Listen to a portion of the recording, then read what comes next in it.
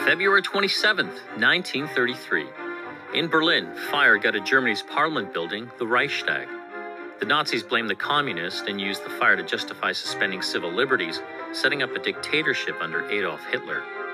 1991. Kuwait is liberated. Iraq's army is defeated. Our military objectives are met.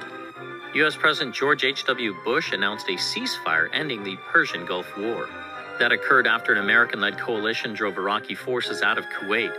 Iraq's leader, Saddam Hussein, remained in power until a U.S. led invasion in 2003 toppled his regime. 2010. Chile was hit by a massive earthquake measuring 8.8 on the Richter scale. More than 400 people were killed and hundreds more injured. The tremor caused widespread damage to buildings, which left hundreds of thousands homeless. 1932. You see, George didn't have much push. He wasn't particularly aggressive. Actress Elizabeth Taylor, known for volatile movie roles and a well publicized personal life that included numerous marriages, was born in London.